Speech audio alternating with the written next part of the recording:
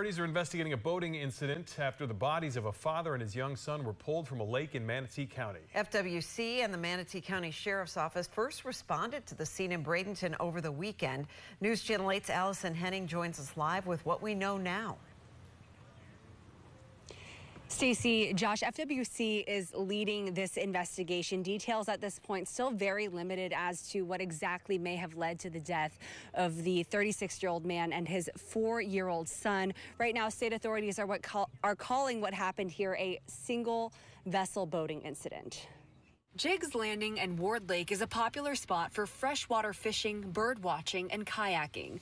Over the weekend, authorities packed the parking lot here responding to reports of a boating incident behind the water treatment plant across the lake. There was a dozen emergency vehicles here from the crime scene unit to the FWC to the Manatee County Sheriff's. Assistant Manager Teresa Koblenz watched as authorities pulled a boat from the water Saturday afternoon.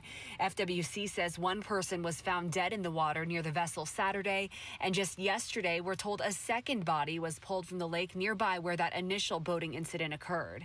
FWC has identified the victims as 36-year-old Wayne Raber and 4-year-old Josiah Raber, a father and son from Ohio.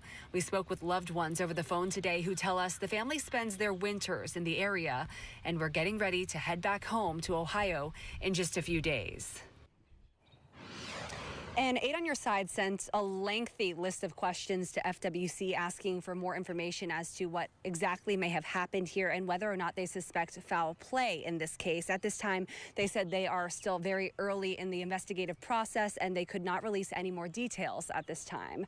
Reporting live in Manatee County, Allison Henning, Eight on Your Side.